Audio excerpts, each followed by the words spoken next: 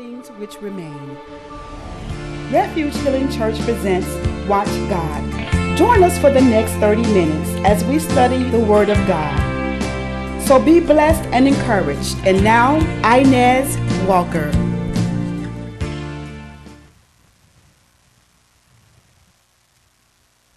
Welcome to Watch God. We're so very glad that you tuned in today to the, to the Most High God, the God of the now, the God that you can look to no matter what's going on in your life, no matter what's your condition, no matter what your situation is, nobody, no matter what nobody said that you couldn't be. God is the author and the finisher of your faith. Welcome to Watch God. God wants you to know today that He loves you and He wants you to be a part of His team. He wants you to know that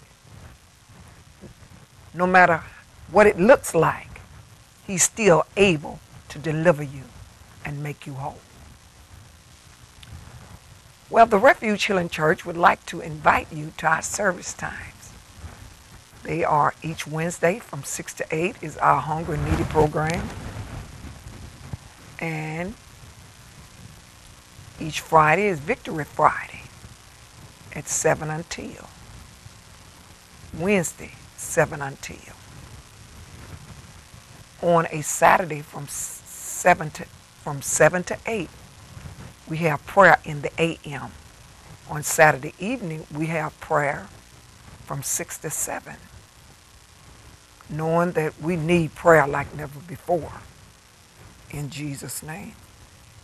And God just want us, like never before, to petition Him, to look beyond all of our faults and see our needs, because we need Him like never before.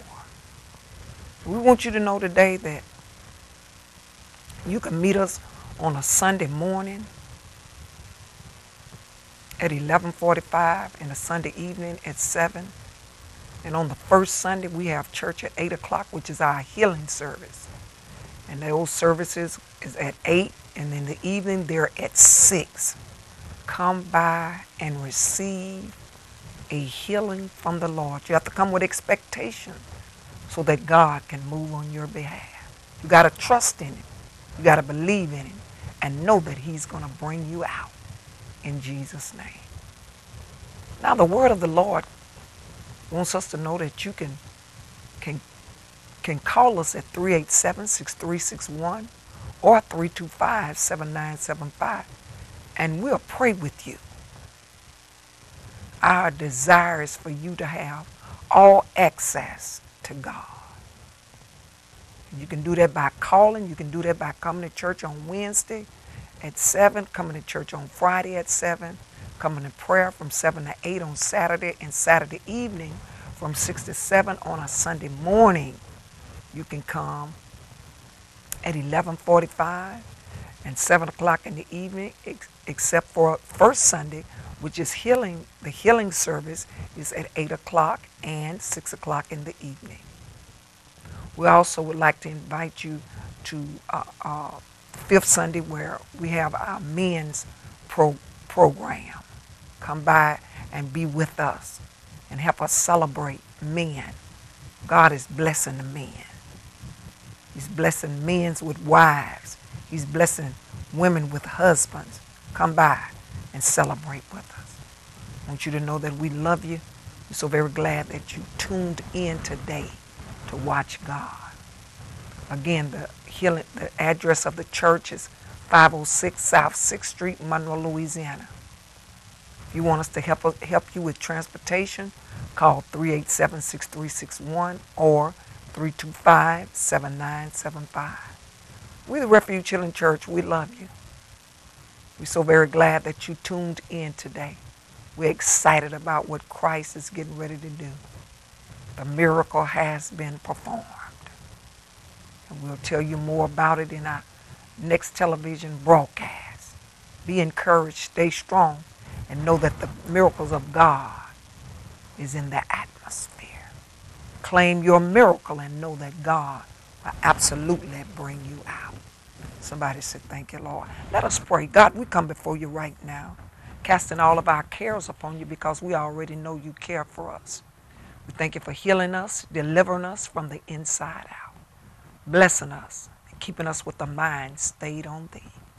We thank you, Lord God, that no weapon formed against us shall prosper. We ask you to save your people, sanctify. Bless our families, save them, God, sanctify. Them. In the name of Jesus, and fill them with your spirit, I pray. We thank you, Lord God, for ordering our steps, God. Not going where we want to go, but where you want us to go. Not taking on things of our own, but taking on the things of God, listening to your voice, letting you tell us what we need to do and where we need to go. How we thank you for it being done right now. Every, every, every refuge member that's in the earth, God, we cause them to the fourth. We asking you, God, to cause them to come back home in Jesus' name. Don't let it be too late. Let them make up their mind and let them come back as soldiers marching into Calvary. How we thank you for it being done right now. How we thank you for laying aside, God, those things in their life that's not pleasing in your sight. We ask you, Lord God, that you would justify them and not the world.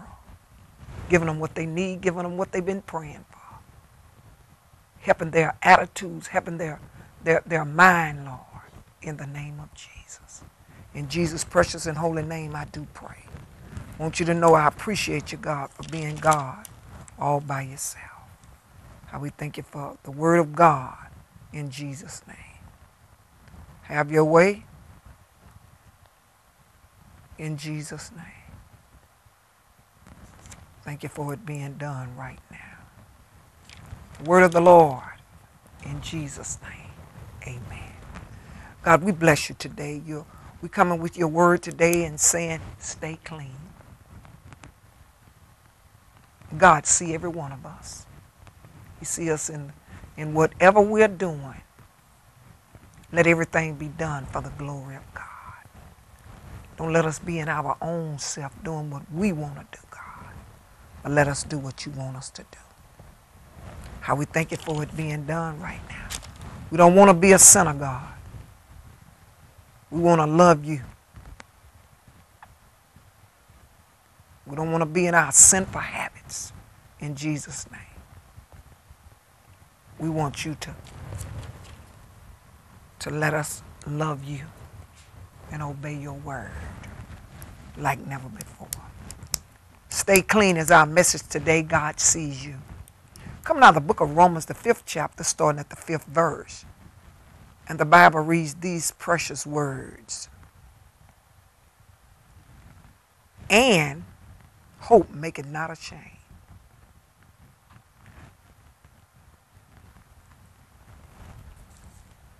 Let's start at the um, at the third verse.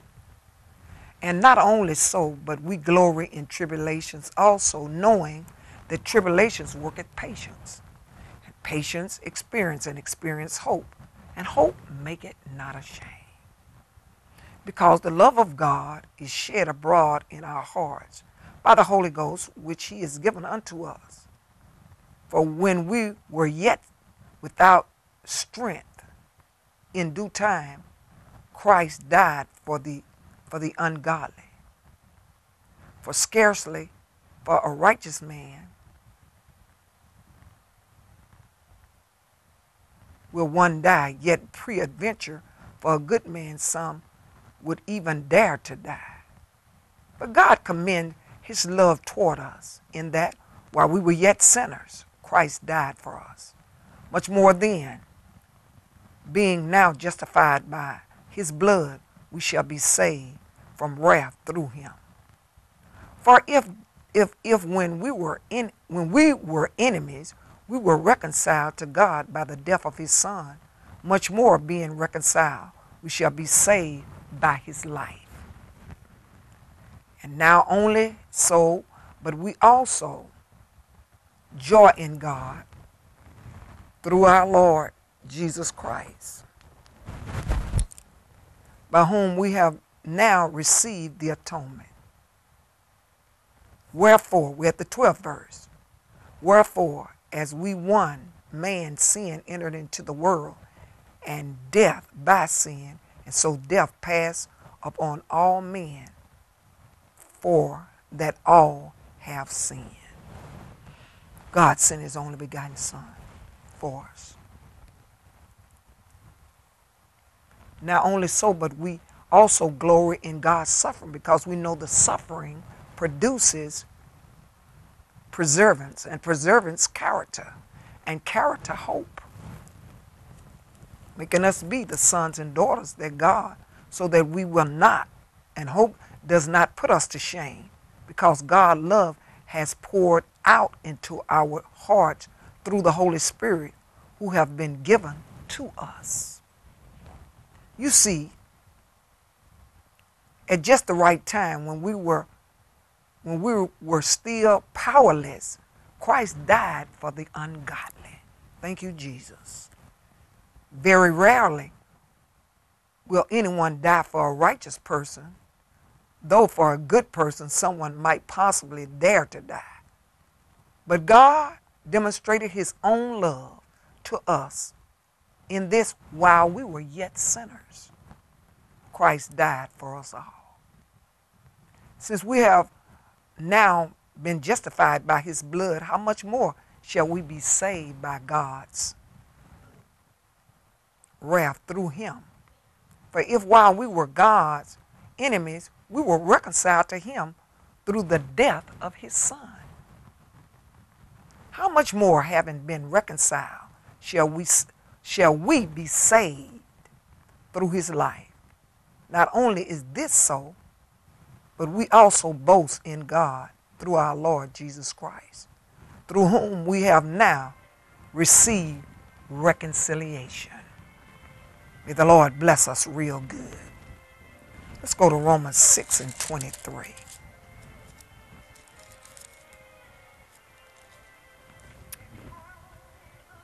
Before we go there, let's go to Romans 6 and 12. It says, Let not sin therefore range in your mortal body, that ye should obey in the lust thereof. Neither yield ye your members as instruments of unrighteousness unto sin, but yield yourselves unto God as though that are alive from the from the dead and your members as instruments of righteousness unto God. For sin shall not have dominion over you, for ye are not under the law, but under grace. What then? Shall we sin because we are not under the law, but under grace? God forbid. Know ye not to whom ye yield yourselves servant to obey? His servants ye are to whom you are the servants to whom you obey, ye obey, whether of sin unto death or of obedience unto righteousness. But God be thankful that ye are the servants. Be thankful that ye were the servants of sin, but ye have obeyed from the heart the form of doctrine which was delivered unto you. Being then made free from sin, ye became the servants of righteousness. Thank the Lord for Jesus. The 23rd verse says, But now being made free from sin and become servants to God, ye have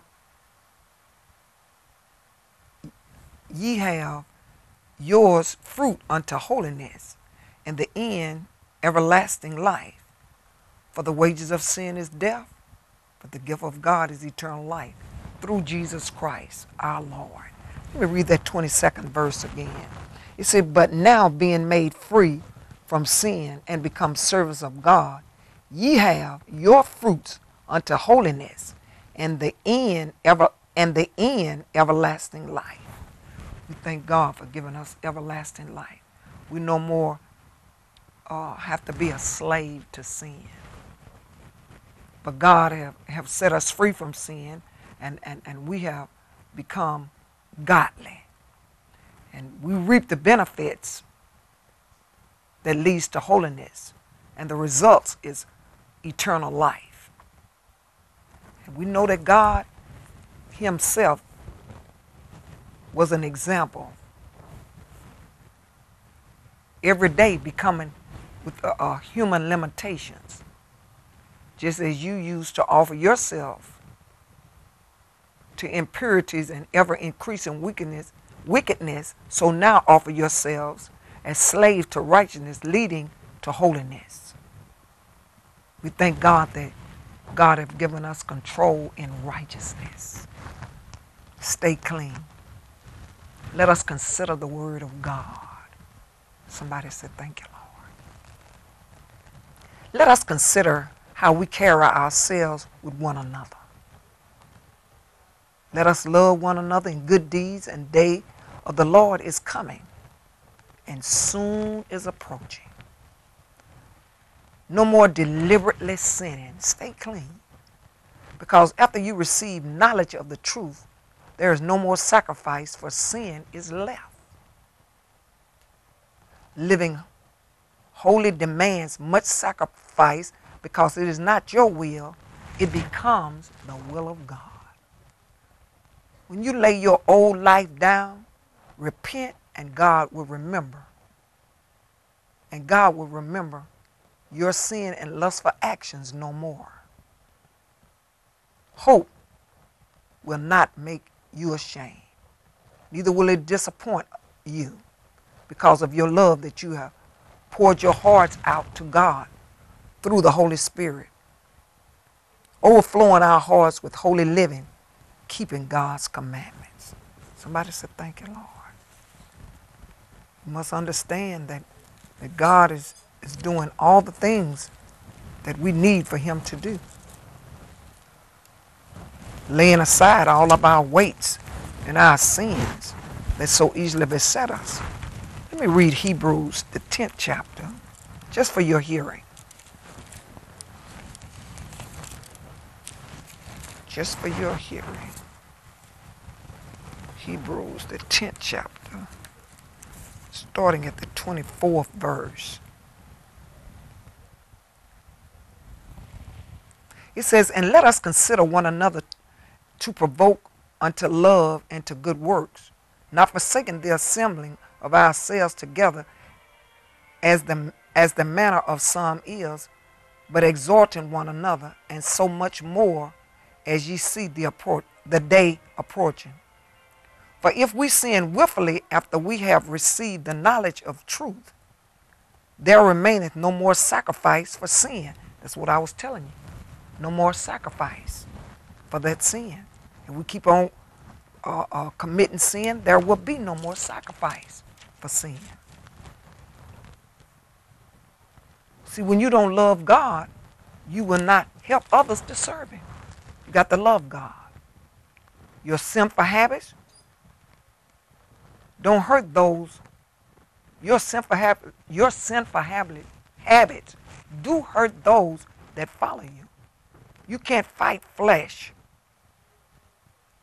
You cannot fight fleshly temptations with fleshly weapons, except when you are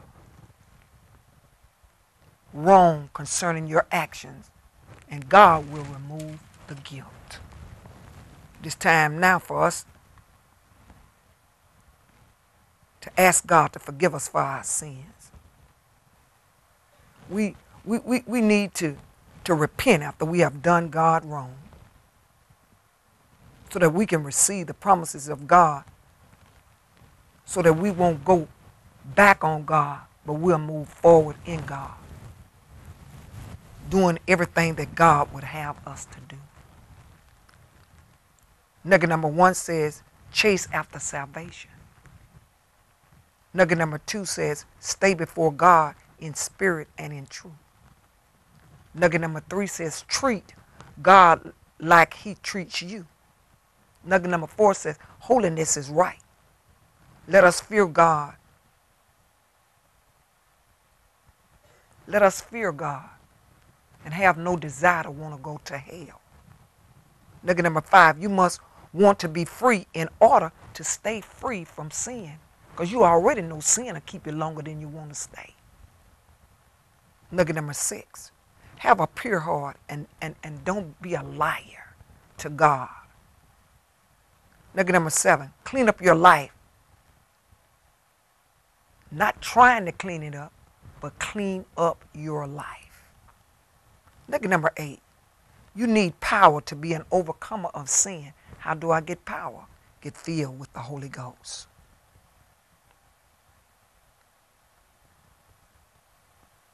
You need power to be an overcomer of sin. You can't do it on your own. You're going to need God. That's Holy Ghost power. Look at number nine. Saving church and out of church, letting the devil use you. Remember, God's eyes in it is in every place, beholding the good and the evil. It's time for us to have holy fear. Fear God. Somebody said, Thank you, Lord. Look at number 10. Don't make a vow to God about being saved and still choosing to go to your ungodly ways. Look at number 11. Spiritual death is separation from God. Unable to trust God. You are powerless without God. Look at number 12. The wages of sin is death. The consequences of it is evil doing. The only way to escape death is come to Jesus through faith, drawn by the Holy Spirit. Faith in Christ leads to spiritual and to eternal life. Somebody say, Bless God. Thank you, Lord God. We want to be children of Jesus Christ. We want to do what God wants us to do. We want to be obedient. We don't want to touch nothing, taste nothing, and handle nothing that will keep us out of the will of God. Somebody said, Thank you, Lord. God don't want us weak, He want us strong. He want us holding on to Him like never before in these last and evil days. See, God is telling us this. Wherefore, my beloved, Philippians 2 and 12. Wherefore, my beloved, as ye have have always obeyed, not in my presence only, but now much more in my absence. Work out your own salvation with fear and trembling. For it is God which worketh in you both to will and to do his good pleasure. Do all things, not some things. Do all things without murmuring and disputing, that ye may be blameless and harmless. The Son of God rebukes in the midst of a crooked and a perverse nation, among whom ye shine as light in the world. We thank God for keeping us. Let your light shine before men, that they may see your good works and glorify your Father which is in heaven. We want to we lay not up for your treasures upon the earth where moth and rust do corrupt, but wherefore we want to lay out treasures where they don't steal at. But lay up for yourselves treasures in heaven where neither moths or rust do corrupt, and where where thieves do not break through to steal. We thank God for working everything out for us. In the name of Jesus. Thank you, Lord God, for working it out for us. In the name of Jesus. Let your light shine before men so that they may see your good works and glorify your Father which is in heaven. It's time for us to, to, to lay aside every weight and every sin that so easily beset us and walk upright before God, knowing that God is a peacemaker. He's a protector. He rules the heavens. He wants us to get our life together so that we will become the children of God, so that we will be able to be a part of the kingdom of God, so that we can be also an example and a light to people on the earth. God is saying, stay clean. It's time for us to stay clean. God wants us to uh, know that no weapon formed against you shall prosper. The word of God is true. God stands behind everything that he says. God wants you to know that you can be first and not last, the head and not the tail. Keep your mouth and God will keep your soul. Somebody said, Thank you. Always be willing to serve and do whatever you can to please God. Somebody said, Thank you, Lord. We thank God for He'll always keep us. All you got to do is want to be kept. We want to be in agreement with God, doing God's perfect will, not our will, but His will. We want to we want God to know that we accept everything that He says concerning, concerning His Word. God wants us to, to put all of our trust in Him and put all the things that we used to do, put it behind us. And He'll put it in the sea of forgiveness. We thank God for saving us, healing us, delivering us in these last and evil days giving us freedom from the world. God wants to change our life. We want God, whatever God is doing, we want to we want to be behind him 100%. We want to do God's will. We want to work like he wants us to work.